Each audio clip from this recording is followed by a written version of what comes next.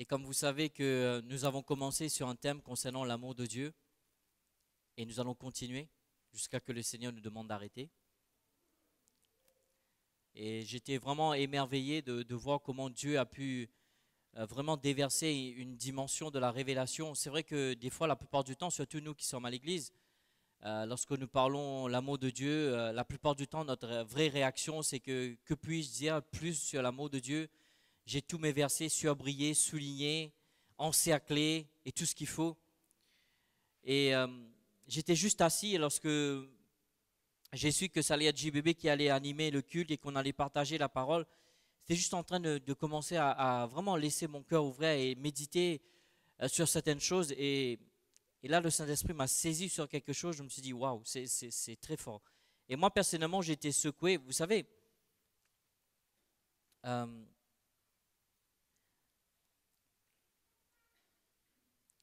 quand vous parlez quelque chose d'une manière, d'un point de vue intellectuel, c'en est une chose. Mais quand vous parlez quelque chose dont vous avez vécu, c'est là que ça fait toute la différence.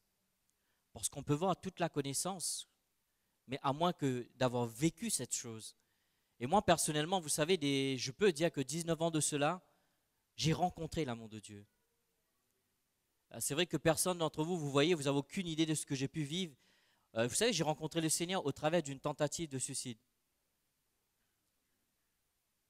Et vous savez, Dieu n'avait pas, encore fini avec moi.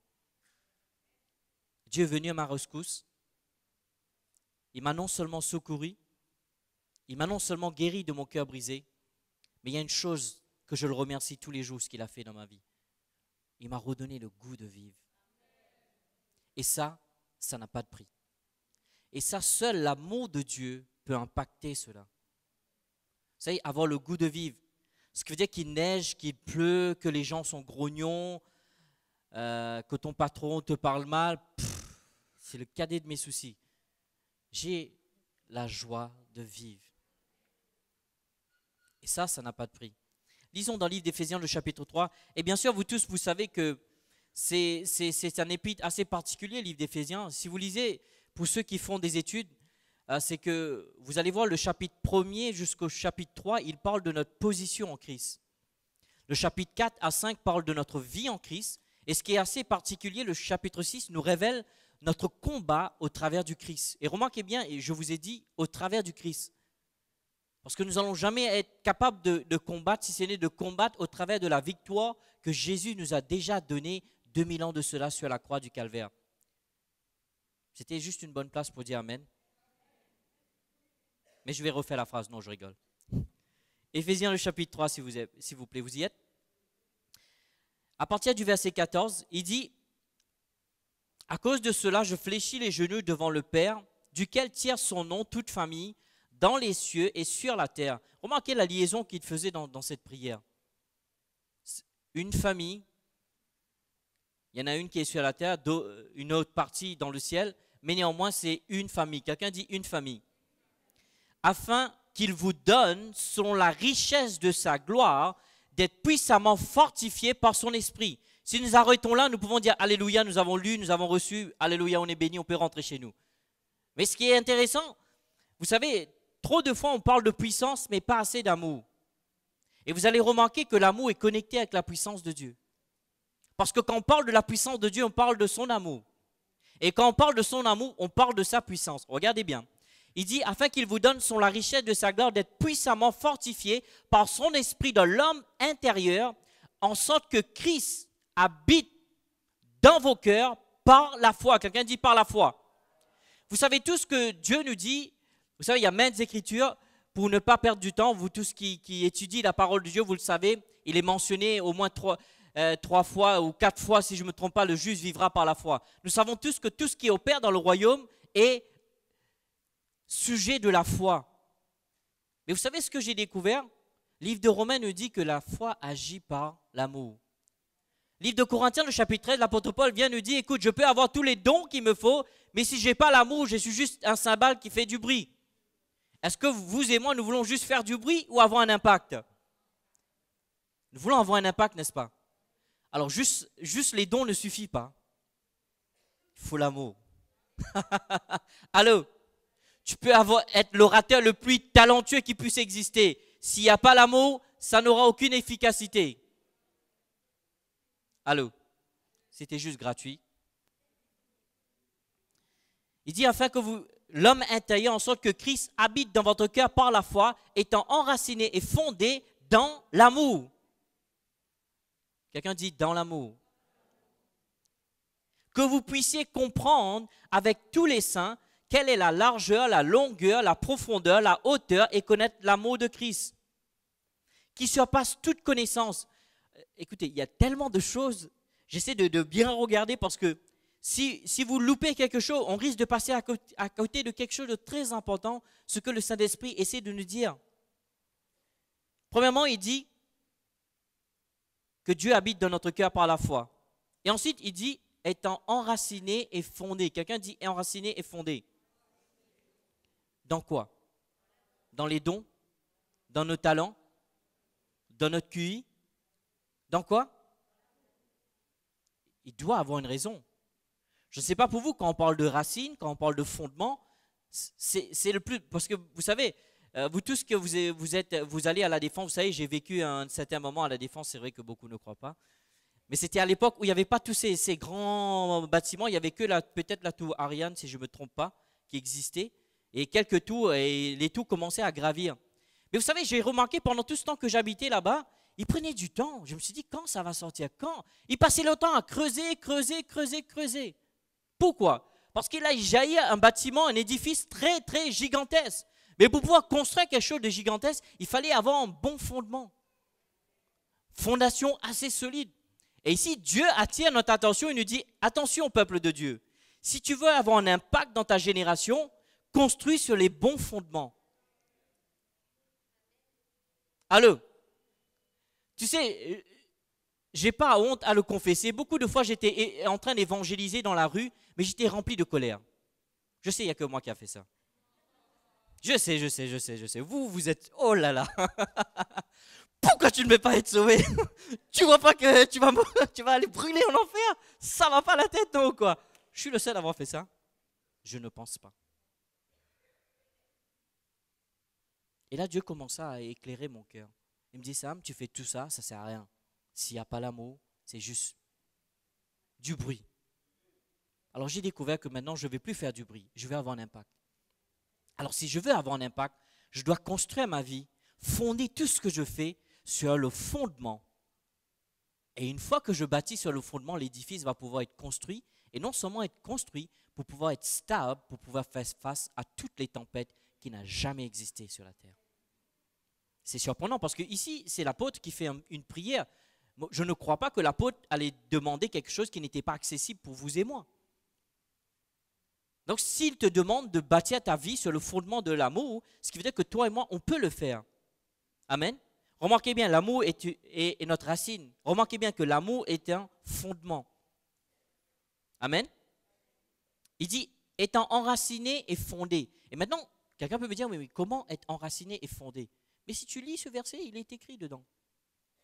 Vous voulez savoir? Il dit, regardez bien, il dit, afin que Christ habite dans votre cœur par la foi, afin qu'étant enraciné et fondé l'amour, vous puissiez comprendre. Le premier étape pour pouvoir être enraciné et fondé dans l'amour, vous devriez comprendre l'amour de Dieu. Quelqu'un dit comprendre. Il dit comprendre avec tous les saints quelle est la largeur, la longueur, la profondeur, la hauteur et et non seulement cela, mais connaître l'amour du Christ. Remarquez l'étape. Comprendre, connaître. Des fois, juste parce qu'on a compris quelque chose, ce n'est pas une certitude qu'on a connu la chose. Juste parce que tu lis le verset et que tu vois Jean 3,7, Dieu a tant aimé le monde, juste parce que tu connais ce verset par cœur, que tu peux le citer les yeux fermés, est-ce que c'est une certitude que tu as connu l'amour de Dieu? Mais remarquez, l'apôtre dit, écoute, il faut que tu sois fondé, Samuel, il faut que tu sois enraciné dans l'amour. Pour pouvoir être enraciné et fondé, vous devriez comprendre. Cette compréhension va vous amener dans une connaissance. Cette connaissance, je ne parle pas d'un point de vue intellectuel, mais je parle d'une manière expérimenter cet amour. Vous allez commencer à comprendre la largeur, la longueur, la hauteur et la profondeur de l'amour de Dieu pour vous. Et ensuite, il dit, afin que vous soyez remplis de toute la plénitude. Il te dit, une fois que tu commences à comprendre, tu vas avoir la connaissance, c'est-à-dire que tu vas commencer à élargir ta compréhension pour expérimenter cet amour. Le plus que tu t'ouvres à l'amour, le plus que tu vas t'ouvrir à la plénitude de Dieu. Vous savez, quand je lis ma Bible, la Bible dit que Jésus avait l'esprit sans mesure, n'est-ce pas? Qu'est-ce qui fait que Jésus pouvait avoir l'esprit sans mesure? Mais ici, il te dit, si tu peux seulement comprendre et commencer à connaître l'amour de Dieu, cette compréhension qui va t'amener dans la connaissance pour expérimenter cet amour va te faire rentrer dans la plénitude de Dieu. Et tu sais ce que tu vas être? Tu vas être un Dieu ambulant sur cette terre. Quelqu'un dit comprendre, connaître, être rempli. Nous tous, nous voulons être remplis. Tu sais, même des fois, on jeûne, on prie.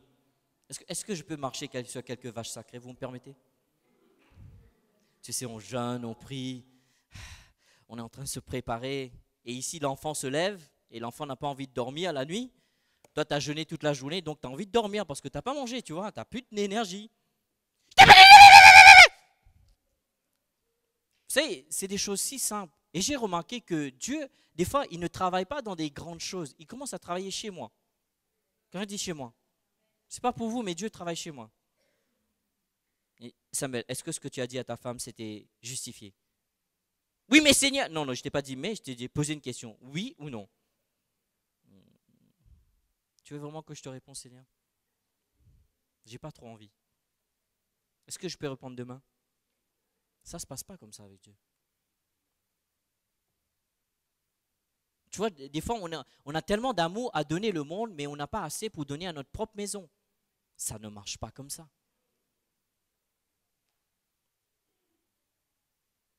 Il faut laisser vraiment l'amour de Dieu travailler notre cœur, bien-aimé. Trois points importants pour être enraciné et fondé. Comprendre l'immensité de l'amour de Dieu. Deuxièmement, connaître l'amour de Dieu d'une manière dans l'expérience. Et ensuite, être rempli de cette plénitude qui est illimitée de Dieu. Vous savez, j'ai commencé à me dire, mais pourquoi euh, l'apôtre Paul a dit enraciné J'ai pris le temps de regarder le mot enraciné. Enraciné veut dire faire prendre racine, fixer dans le sol, implanter solidement. Et j'ai regardé le mot fondé. Vous allez aimer cela. Surtout ma femme. Vous savez, maintenant, elle est spécialisée dans la construction et je pense que j'ai pris quelques notes de, de ses formations. Poser des fondements d'une construction. Les principes généraux à suivre dans la construction des ouvrages d'art peuvent se résumer ainsi. Écrivez ceci, ça va vous libérer. Fonder solidement et construire simplement. Fonder solidement et construire simplement. Nous, nous voulons fonder simplement et construire solidement. C'est pas comme ça que ça se passe. Dieu dit fonder solidement, gloire à Dieu, et ensuite tu vas pouvoir être capable de construire simplement. Fonder dans quoi, Sam? Dans l'amour de Dieu. Lorsque toi et moi, on va commencer à retourner toutes nos priorités, fondées, enracinées sur l'amour de Dieu, nous allons voir, premièrement, il y aura un changement. Et tu sais qui va changer? Quand tu regardes dans le miroir, tu le vois. Alléluia. La Bible parle ici d'être fondé dans l'amour. Que veut dire être fondé dans l'amour? Un Jean le chapitre 1 1 Jean le chapitre 4, le verset 8 nous dit que Dieu est amour. Donc, en d'autres mots, lorsque l'apôtre disait être fondé dans l'amour, veut dire être fondé en... Tu vois, tu ne peux pas empêcher, parce que vous savez, euh, beaucoup de fois, lorsqu'on parle de Dieu, Dieu est un Dieu qui a la foi. Dieu n'a pas l'amour, il est amour. Je vais répéter. Je dis, Dieu est un Dieu qui a la foi. Mais Dieu n'a pas l'amour, il est l'amour. Il est l'essence même de l'amour. En d'autres mots, si vous voulez définir l'amour, si vous voulez définir Dieu, vous devez le définir ainsi. L'amour personnifié. Ça, c'est Dieu. Ça, c'est ton Dieu. Ça, c'est mon Dieu. Alléluia.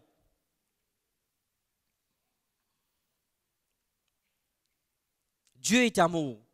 Quelqu'un dit Dieu est amour. Maintenant, je ne parle pas l'amour comme le monde veut nous faire comprendre.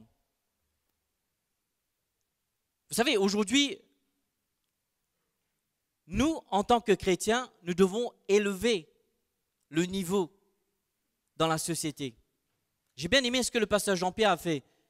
Il nous a arrêtés, il nous a dit, écoute, maintenant quand tu chantes, c'était assez surprenant, j'étais juste en train de me penser devant, devant mon poste de travail. Et il vient et il dit ça. Je dis, Saint-Esprit, tu es en train de travailler mon cœur là. Tu sais, c'est bien à l'église de jouer l'église. Nous avons notre costume, tu vois. Nous avons les maquillages. J'espère que vous maquillez. non, non, non, je ne vais pas rentrer dans ce Mais le moment le plus. Vous savez, je vous ai dit la dernière, une fois que je prêchais, j'ai dit la photo que Dieu a de vous, c'est pas le dimanche à l'église, c'est la photo que vous êtes au travail le lundi. si vous n'aimez pas la photo, changez-la. L'amour biblique est loin d'être comme l'amour du monde. 1 Jean le chapitre 4, le verset 9 à 10, pour une question de temps, juste écrivez-le, allez à la maison et méditez dessus. Il dit, voici comment Dieu a manifesté son amour. Remarquez bien ici, voici comment amour a manifesté son amour pour nous. Est-ce que je suis en train d'enfreindre euh, les Écritures? Non, Dieu est amour, donc je peux dire ainsi, voici comment l'amour a manifesté son amour pour toi et moi. Il a envoyé son Fils unique dans le monde afin que nous ayons la vraie vie par lui. Et l'amour consiste en ceci. Ce n'est pas nous qui avons aimé Dieu, soulignez cela, on va revenir tout à l'heure. Mais c'est lui qui nous a aimés en premier. L'amour de Dieu commence ainsi.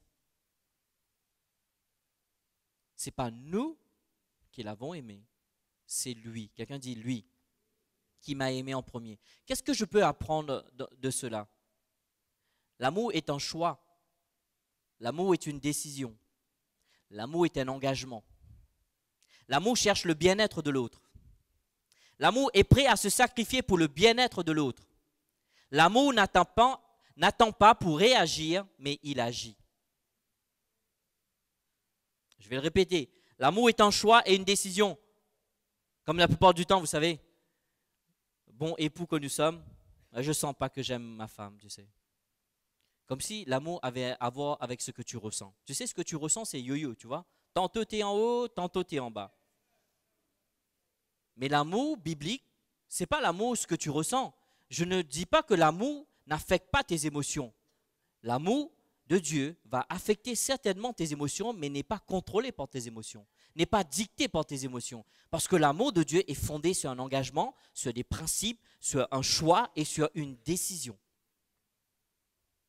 Amen. Maintenant, si vous voulez connaître l'amour, allez dans 1 Corinthiens, le chapitre 13.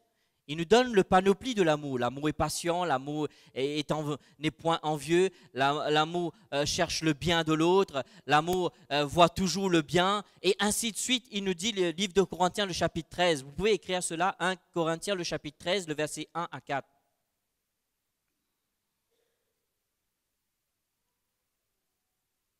Écrivez ceci, bien-aimés. L'amour, ce n'est pas juste des émotions, l'amour a des principes. Lorsque toi et moi, on apprend à baser notre vie dessus, notre vie est sur le point de changer. Parce que que je le ressens ou je ne le ressens pas, quand je laisse l'amour de Dieu, c'est un choix que je fais, c'est une décision que je prends, c'est un engagement que je prends basé sur des principes. C'est quel principe? Principe de l'amour que nous venons de lire, 1 Jean le chapitre 4, le verset 9 à 10. L'amour de Dieu n'est point que nous l'avons aimé en premier, non, c'est que lui, il nous a aimés en premier. Aujourd'hui, toi et moi, nous pouvons dire seulement, nous pouvons aimer Dieu. Pourquoi? Parce que nous aimons Dieu? Non, non, non. Parce que nous avons été récipients de son amour. Parce qu'il a mis son amour en nous. Maintenant, de retour, on peut l'aimer, non pas avec notre amour, mais l'amour qu'il a mis en nous. Et ça, c'est fort, ça.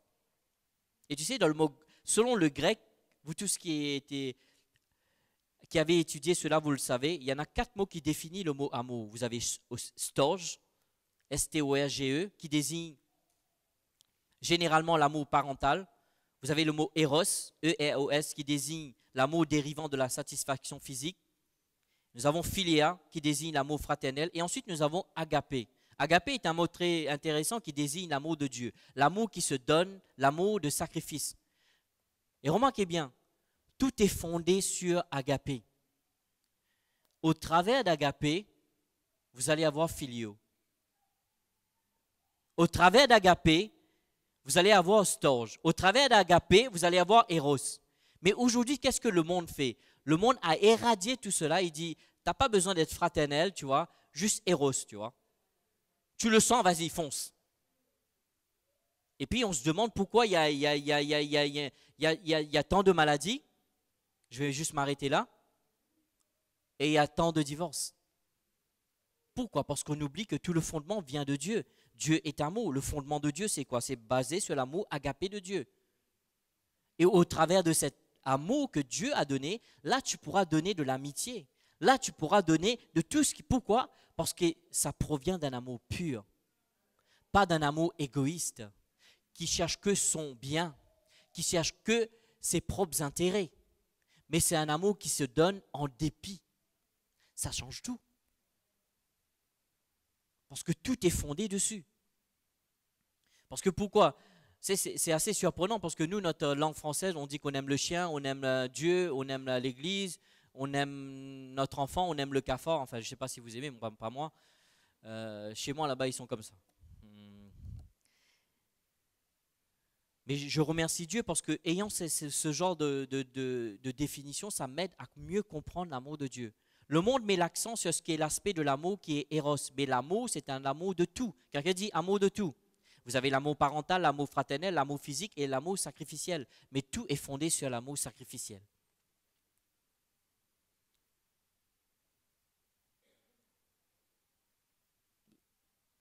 Si je veux arrêter fatiguer Pasteur Robert pour lui dire, écoute, tu sais, ma femme me tape sur le système, je dois être fondé ma vie sur l'amour sacrificiel. Parce que je vous ai dit, l'amour de Dieu ne réagit pas, il agit. Moi, c'est une grande révélation. Moi, c'est une révélation forte. Parce que pourquoi? La plupart du temps, je suis en train de te donner en réplique ce que tu me donnes. Mais ce n'est pas ainsi. L'amour de Dieu donne. Dieu ne peut pas s'empêcher d'aimer. C'est juste plus fort que lui. c'est sa nature d'aimer. Amen. Comprendre l'amour de Dieu pour nous quand Dieu a tant aimé le monde qu'il a donné son Fils unique, afin que quiconque croit en lui ne périsse point, mais qu'il ait la vie éternelle. Tu dois comprendre l'amour de Dieu. Et pendant que je me préparais, il y a une chose qui m'a percuté concernant la compréhension de l'amour de Dieu. Écoutez-moi, vous êtes prêts? Il y a deux choses que je veux vous dire. Je veux que vous vous installez bien et que vous attachez vos ceintures. Parce qu'après avoir prêché, il y a des pharisiens qui vont venir me voir. Qui vont venir corriger ce que je suis en train de dire. Mais Dieu merci que je l'ai vu, il est écrit. je dis toujours, n'écoute pas ce que je te dis, mais si je peux te montrer qu'il est écrit, alors maintenant tu le sais, à toi de voir. Tu sais, la plupart du temps, vous et moi, depuis que nous sommes sauvés, nous sommes en train de nous battre pour plaire à Dieu. Je me trompe? Nous sommes en train de nous battre pour vivre une vie d'obéissance. Nous sommes en train de nous battre pour vivre une vie qui honore Dieu. Nous sommes en train de nous battre. Mais j'ai compris que j'avais, j'étais en train de mettre les choses à l'envers.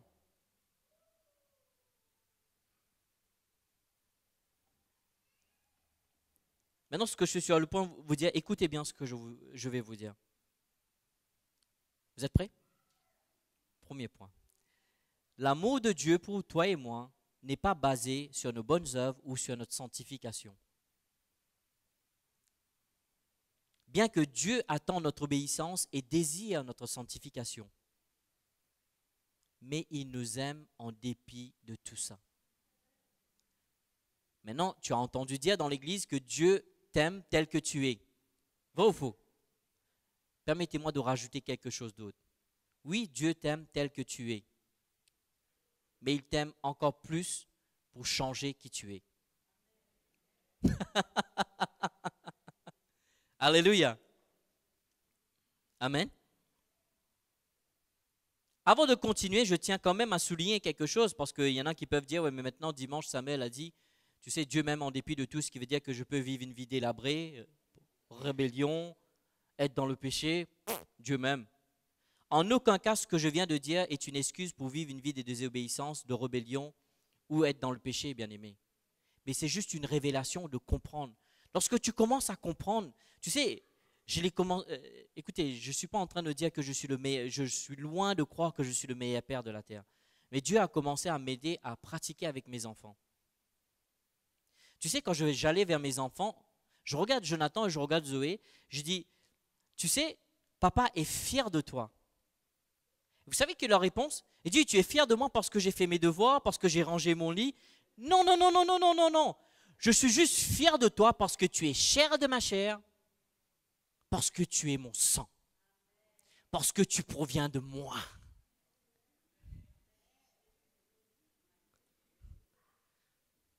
Parce que tu fais partie de moi, tu es une partie de moi sur cette terre. Bien sûr, Vanessa aussi a contribué. Allez. J'ai vu laisser à me regarder, mais on ne veut pas avoir de problème ici, gloire à Dieu. Alléluia. mais non, comprenez ce que j'essaie de vous dire.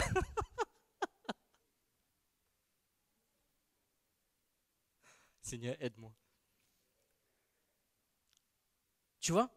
Parce que la plupart d'entre nous, quand nous avons obéi, nous rentrons à l'église dimanche. Oh Seigneur, j'ai obéi cette semaine. Mais si nous avons fait quelque chose de mal,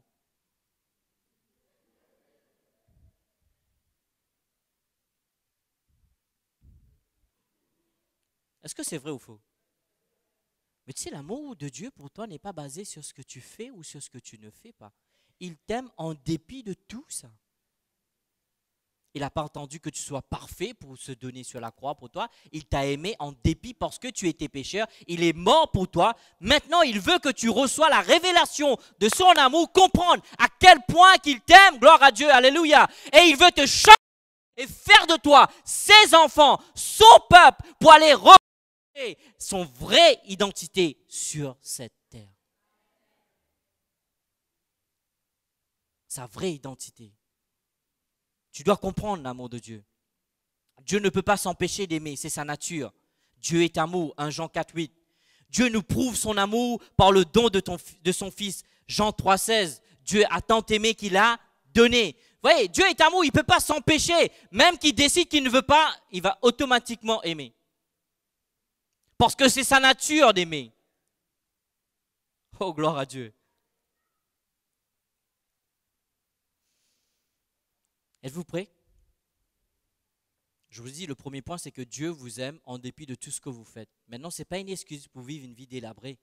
Non, bien au contraire. C'est à vous d'accepter et de recevoir cet amour afin que vous compreniez, malgré que j'étais pécheur, malgré que j'étais en train de détruire tout ce que Dieu faisait pour moi, Dieu m'a aimé. Mais combien à plus forte raison maintenant que moi de retour, je devrais l'aimer avec cet amour qu'il m'a aimé? Et là maintenant, je ne marche pas dans une vie d'obéissance par obligation. Je ne le fais pas parce que je dois le faire, je le fais parce que je veux le faire. C'est une différence. Je ne veux pas plaire à Dieu parce que je dois remplir mes éthiques chrétiennes. J'aime Dieu parce que j'étais le récipient de son amour. Lorsque Dieu m'ouvre ma compréhension, de comprendre à quel point qu'il m'aime, de dire qu'il a accepté de donner le meilleur qu'il avait pour venir sur cette terre, souffrir, abattu, être craché dessus, même être fouetté, gloire à Dieu, être crucifié pour moi, gloire à Dieu. Maintenant que je comprends cet amour, maintenant ça touche tout mon être maintenant. Je ne peux que faire une chose maintenant, l'aimer avec cet amour de retour que moi-même j'ai reçu de lui.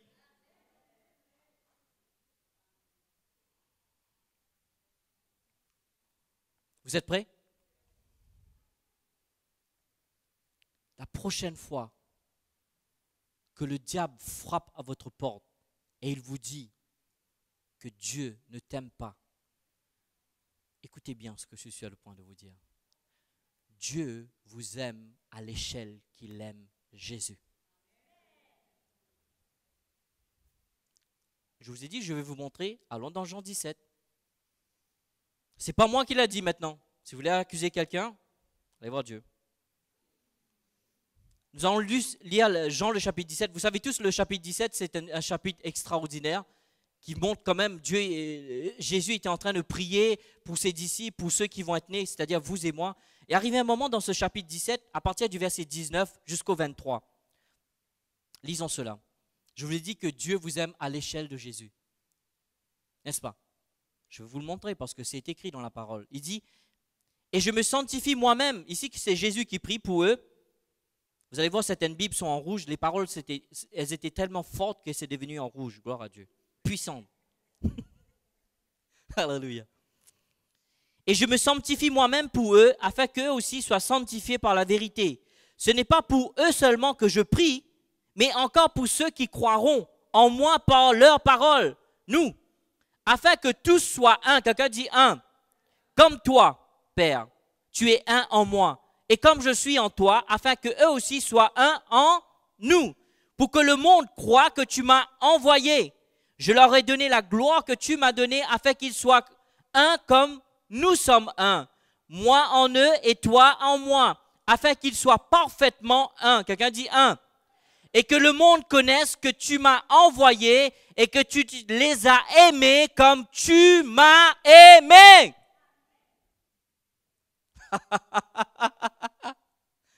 maintenant quand le diable vient, je dis tu arrives trop tard parce que Jean 17, le verset 23 me dit que Dieu aime à l'échelle qu'il aime son fils Jésus. Tu arrives trop tard.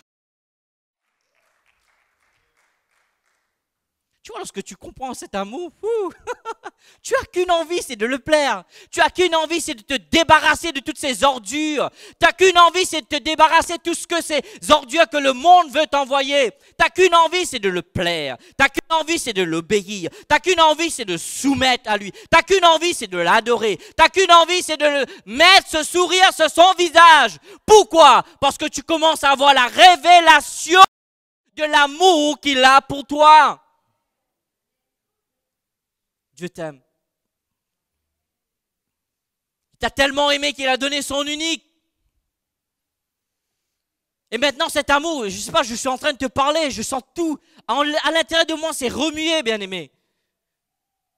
Cet amour qui commence à transpercer ces mensonges qui ont été instaurés par le monde, instaurés par la famille, instaurés par tous ces, pensées mensongères envoyées par le diable, de dire que tu n'es qu'à moi que rien, ta vie ne mènera qu'à rien et tu n'es qu'à rien du tout. Non, qu'à rien du tout, gloire à Dieu. Ma parole dit, alléluia, la parole de Dieu dit, alléluia, que Dieu m'a racheté avec le sang. Aucun homme L'argent ne pouvait payer cela si ce n'est que le sang de son fils. Ça montre la valeur que j'ai à ses yeux, gloire à Dieu.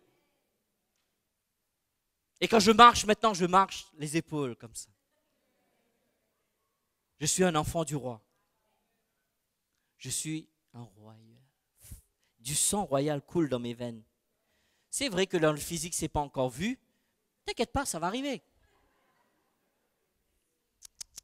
T'inquiète pas. Ne t'inquiète pas. Est-ce que, tu, vois ce que je veux dire? Maintenant, pour moi, obéir à ce que Dieu me dit, ce n'est pas une contrainte. Je commence à comprendre maintenant. Si Dieu me demande de faire quelque chose, ce n'est pas pour son bien parce qu'il n'a pas besoin de moi. Allô? Tu sais que la plupart du temps, vous croyez que Dieu a besoin de vous? D'accord, c'est bien de croire ça. C'est nous qui avons besoin de Dieu. Alors laissons cet amour, laissons cet amour transpercer notre être, renverser toutes ces pensées mensongères que le diable a instaurées dans notre mentalité, de dire que tu, tu, tu, es voué pour une vie de petitesse. Tu ne, tu ne pourras jamais acquérir quelque chose. Tu ne pourras jamais faire quelque chose. Tu sais quoi? Le mot improbable, impossible, jamais n'existe pas dans le dictionnaire de Dieu. Lorsque le diable dit que c'est impossible, dit Dieu se lève et dit tout est possible à celui qui croit. Ce qui est impossible aux hommes est possible à Dieu. Alléluia. Amen. Lorsque le diable vient t'assaillir avec ses pensées mensongères pour dire que tu es tout seul, lis le chapitre, Somme le chapitre 8. Qui est l'homme pour que tu puisses te souvenir de lui? C'est le plus précieux des précieux que j'ai. Tu sais, lorsque Dieu fait, tu sais, Dieu fait des festins. Lorsqu'il fait des festins, tu sais, la plupart des gens du monde, des hauts placés, quand ils, ont, ils font une fête, ils mettent leur, leur, pièce le plus cher sur leur meuble pour montrer à quel point ils, ils sont, tu vois, c'est des hauts placés. Et c'est ce que Dieu fait. Quand Dieu fait une fête, il met son DVD et il y a ta photo là-bas. Il dit voilà, tu vois Jean-Pierre? Ça c'est mon précieux. Tu vois Justine? Ça c'est ma précieuse. Tu vois Annick? Ça c'est ma précieuse. Tu vois Jean? Ça c'est mon précieux. Et c'est comme ça que vous devriez voir. Je suis la prunelle de ses yeux. Je suis le centre de son amour. Quand Dieu pense, lorsque Dieu commence à penser, il pense que des bonnes choses pour vous. Il pense que de vous faire du bien. Il pense que de faire en sorte que vous puissiez évoluer, progresser, avancer. Gloire à Dieu, alléluia. Aller de l'avant, être épanoui. Alors arrêtez de laisser le monde vous empêcher de vivre ce que Dieu a pour vous. Rejetons tous ces mensonges du diable. Maintenant que le diable frappe à votre porte, vous dites, hey, tu sais quoi? Dieu m'aime comme il aime Jésus.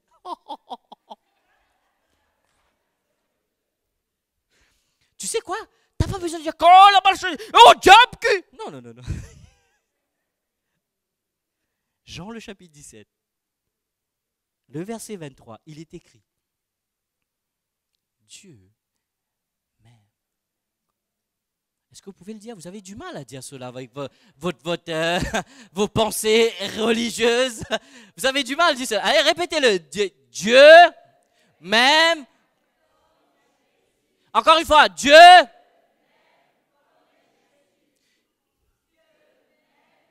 Dites-le fort pour que la personne qui est en haut l'entende. Dites-le fort pour que tout l'enfer l'entende. Dites-le fort pour que la l'entende.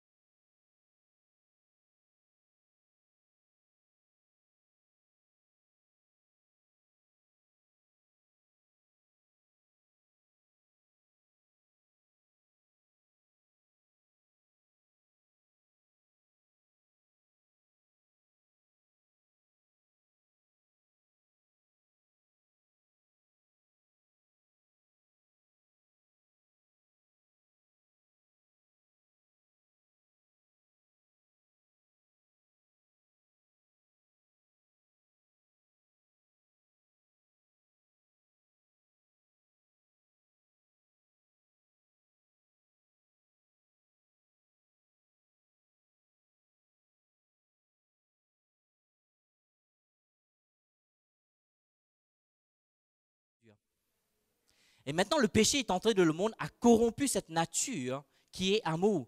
Mais Jésus, je dis Jésus est venu, gloire à Dieu, il est venu nous restituer notre vraie nature. Et c'est pour cela que 2 Corinthiens 5, 17 dit que vous êtes une nouvelle créature. Toutes choses anciennes sont passées et toutes choses sont devenues nouvelles. Maintenant que vous avez accepté Jésus comme Seigneur et Sauveur, Dieu sa vraie en vous, gloire à Dieu. Est-ce que vous n'avez jamais été surpris de lire dans Corinthiens 12, lorsqu'il parle des dons de l'esprit, il parle de des dons. Mais lorsque Galate parle de fruit de l'amour, il ne parle pas des fruits, il parle le fruit.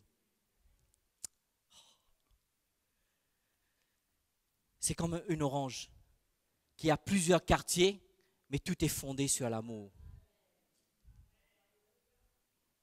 Et c'est pour cela il te dit maintenant le fruit de l'esprit. Quelque part, c'est vrai le fruit du Saint-Esprit, mais c'est plutôt le fruit d'un être qui est né de nouveau, régénéré par le bain de la régénération, par le biais du Saint-Esprit. Et maintenant, cette vraie nature commence à ressurgir au travers de toi. Cette nature de Dieu, l'amour. L'amour. Ça t'est jamais arrivé que tu étais tellement énervé que tu n'arrives plus à t'énerver, tu as commencé à pleurer? C'est l'amour qui prend possession de toi. Tu as bien médité quand la personne va rentrer, tu vas... Je vais juste m'occuper de son cas. Tu vois ce que je veux dire? Et lorsque la personne vient comme ça, tu es figé. Tu peux plus rien dire. Pourquoi? Parce que ta vraie nature qui surgit. Est-ce que tu as vu quand tu te mets en colère, tu es frustré? Est-ce que tu as remarqué quand tu dis des bêtises, tu es frustré? Est-ce que tu as vu que lorsque tu es... Parce que ce n'est pas ta vraie nature. Ta vraie nature, c'est l'amour. Régénéré par le Saint-Esprit. Donné par le Père. Et maintenant, il te dit, travaille, laisse cette nature prendre le contrôle de tout ton être. Oh, hallelujah. Oh, le temps nous est compté, je vais vous laisser. Écrivez si vous voulez. Les bienfaits de l'amour de Dieu. L'amour impacte notre valeur. L'amour impacte notre estime de soi. L'amour impacte notre position en Dieu. Et l'amour impacte notre identité. Et c'est ce que le péché a corrompu. Le péché a ramené l'insécurité, manque de confiance, se sentir dénigré, rejeté, sans valeur, se sentir pas aimé ni apprécié et nous pousse à l'isolement. Mais Dieu est venu et nous a redonné son amour, pour nous redonner la valeur, pour nous redonner notre estime de soi, pour nous redonner notre position en lui et pour nous donner notre vraie identité. Et maintenant, peuple de Dieu, allez à la maison, lisez tous les versets que vous avez dans la... Vous voulez connaître l'apôtre de l'amour, lisez les épîtres de Jean. Oh, je vous dire, il vous bombarde. C'est pour ça il dit l'amour parfait bannit la crainte. Tu sais quoi, pasteur Jean-Pierre, quand je lisais l'amour parfait, Hallelujah. Groupe de louanges, vous pouvez prendre place, gloire à Dieu. Gloire à Dieu, Alléluia. On va terminer l'église, ne vous inquiétez pas. Lorsqu'il disait l'amour parfait, tu sais, moi je croyais, pasteur Jean-Pierre, lorsqu'il parle l'amour parfait bannit la crainte, moi je croyais que je devais grandir dans ma manière d'aimer Dieu, mais ce n'est pas ainsi. Tu dois grandir dans la révélation de comprendre à quel point que Dieu t'aime. Et lorsque tu reçois cette révélation de l'amour que Dieu a pour toi, cet amour bannit la crainte. Cet amour bannit la peur. Cet amour bannit maladie, cette fusion, cette